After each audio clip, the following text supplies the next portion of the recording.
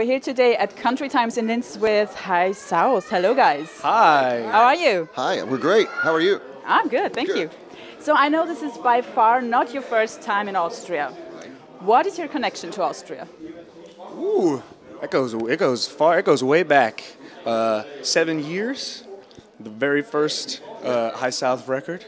Uh, our our manager now, who was our producer uh, on that first record, Christian Knoll, is uh, Innsbrucker, Tiroler. Okay. So uh, he's he's definitely become a, a mentor and a really great friend, you know, as well as our manager. So uh, that's that's our that's our original connection to Okay. uh, to the country. Yeah. Very nice. so, um, how long have you guys been playing together? How did you guys meet? That, that's also a, sort of a long-winded story, but uh, Kevin and I have met uh, in 2011 as uh, we were thinking about putting together uh, the band High South, and uh, we had uh, reached out to our friend Phoenix to be a part of the, the group as well, but he had a solo career going at the time, and so we, uh, we, we were unable to work with him. But uh, if we jump uh, another five years later to about three years ago, we, uh, we called him, and he was in a position in his life where he was able to uh, consider being a part of a band. And uh, so that's when we started, uh, three years ago, the three of us, and uh, it's, it's been, I feel like, elevated a hundred times uh, at bringing on our friend Phoenix. It's been a great experience. Awesome. Are you enjoying it so far? I am having so much fun.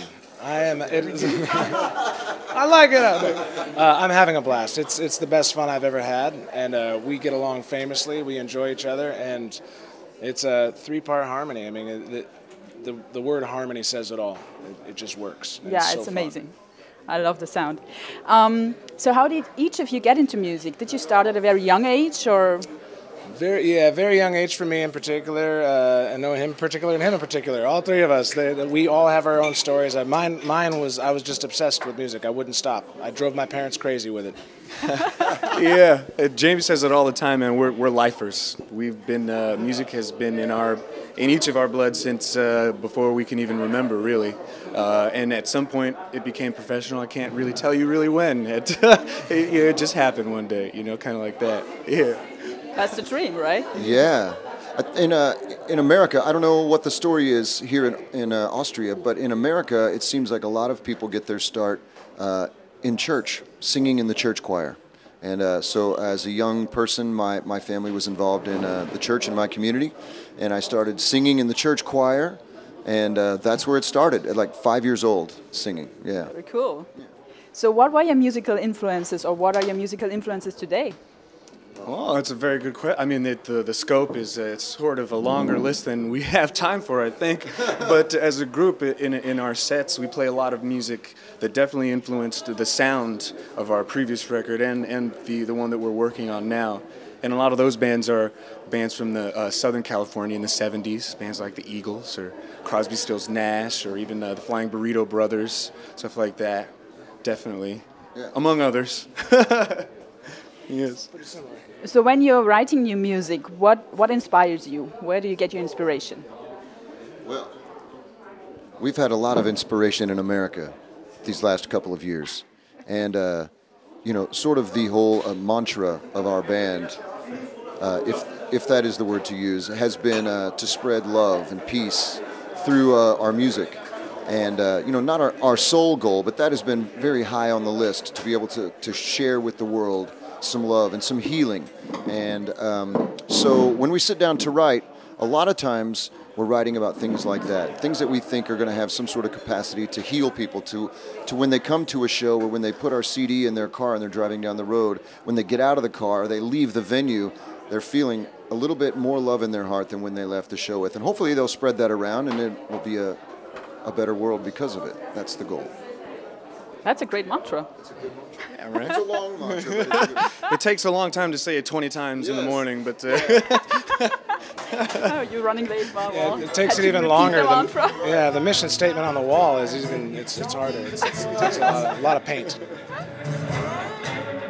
Put your foot on the brake, pull the reins, slow it down. You're gonna make some mistakes,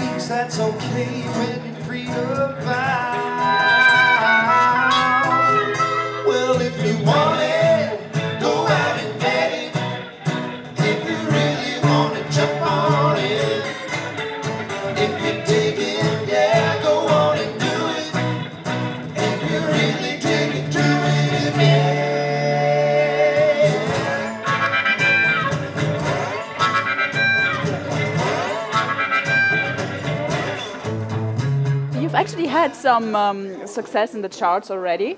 So when you're writing new music, do you ever feel the pressure to repeat that success? No. I mean, not yet. not yet. I mean, we, we have had some, some chart success, uh, especially here in, in Österreich and uh, also a little in Germany and, in the Netherlands. Um, but uh, I think we're on this adventure. It's sort of like we don't, we're not looking back too too much. Um, we have a goal, a common goal in mind, a place where we want to get to, instead of going backwards. So, uh, I mean, we would love to have uh, you know some more hits, uh, and I think those are coming. We feel like we're writing the best songs we've ever written, uh, even better than the ones that did well. And uh, so we're just waiting for the for for the, an audience to hear them and to catch some traction. Yeah. So is the new album in the making already? It's deep in the making.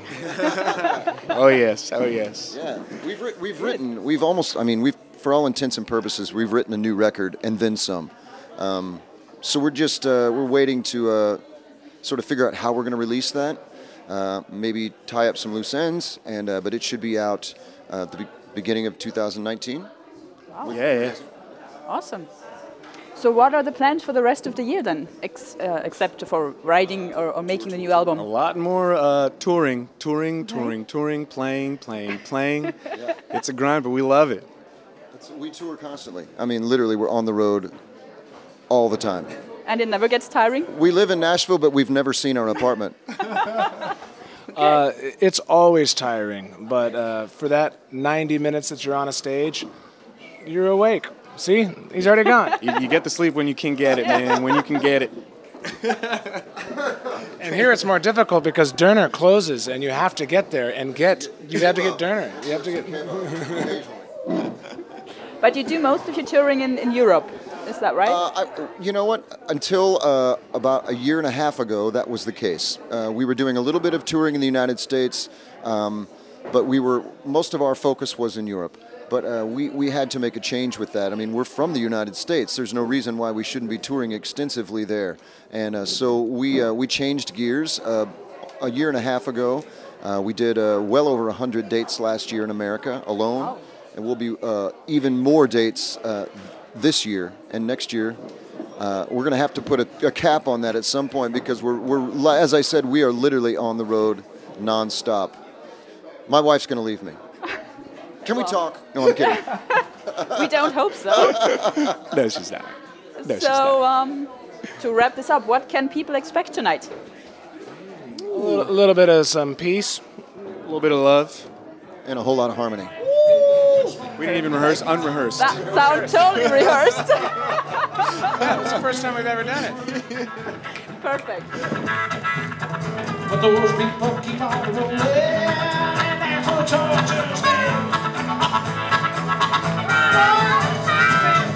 From this prison, if that railroad train was mine, I bet I'd